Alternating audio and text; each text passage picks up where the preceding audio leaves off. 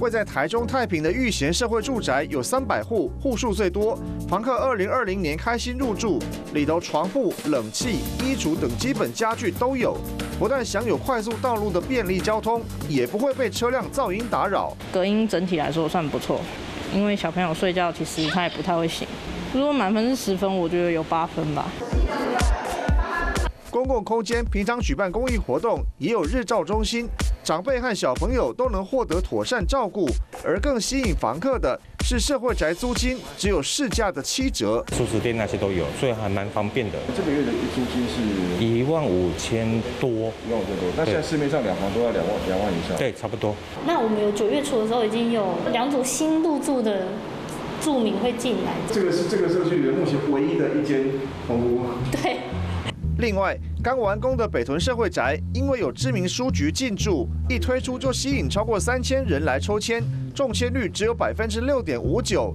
而且市府还首度推出共居社会宅，欢迎喜欢交流分享、尊重差异的房客入住。共居房每个房间都是独立套房。画面可以看到，我们这里边有个人的床铺呢，而且墙壁上还有衣橱，上头呢甚至还有冷气。往外看的话呢，公共空间的话，这里有大家共用的一个厨房以及琉璃台，甚至还有共用的冰箱。而共居房的申请条件，男女老幼不拘，这也是台东市政府第一次的尝试。台中市从二零一八年开始在丰原推出第一栋两百户社会宅，到现在已经有山县丰原、屯区大理、太平、市区南屯以及海线无锡五处社会宅，平均出租率百分之九十七点六。加上九月下旬要入住的北屯社会宅，共有一千四百一十一户出租。太平玉贤这边该到九成九，然后无锡跟金科那边大概是九成五，所以我们平均大概都有超过九成以上的一个入住率。相较于台北市社会宅四千四百一十一户，出租率百分之九十七点八；台中市一千四百一十一户，出租率百分之九十七点六，也算高。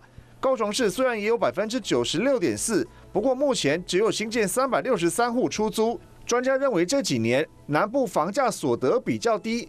民众对社会宅的需求相对不强，一个很好的理由是它的房价所得比没有其他，这个成本对他们来讲不是那么样的大，那他们也很容易在市场上可以找到适合的房子。而台中市推出社会宅，会不会排挤掉租赁市场？房仲业者表示，目前还看不出显著的影响。社会宅是目前市售的量还是比较少，当大的市场没有波动的话，这些老屋老屋来讲的话，它的波动率基本上也不高。是否考量社会宅需求量大，计划在二零二六年要达到全市二十四处共七千一百四十六户社会宅的目标。到时候会对房地产租赁市场产生什么样的影响，令各界好奇关注。华视新闻黄主任肖玉台中报道。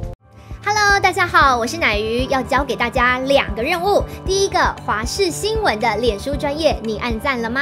还有华视新闻的 YouTube 频道，赶紧订阅起来，还要记得按赞，开启小铃铛哦。